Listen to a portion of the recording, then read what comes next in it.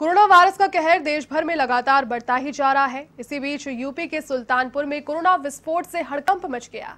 यहाँ पर एक साथ 15 संक्रमित मिलने से पॉजिटिव मरीजों की संख्या 60 से ज़्यादा पहुँच गई।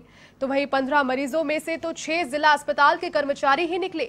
ज़िले में मिले नए मरीजों में चार साल की एक बच्ची भी शामिल है। वहीं लगातार बढ़ रहे मामलों को लेकर चिकित्सा और पुलिस प्रशासन ने चिंता ज़ाहिर की। एसपी ने फ्लैग मार्च निकालकर लोगों को इस पर जागरूक किया। साथ ही में लॉकडाउन का सख्ती से पालन करने के भी निर्देश दिए। तो वहीं लॉकडाउन का उल्लंघन किए जाने पर कई वाहनों को सीज भी क्षेत्र में किया गया।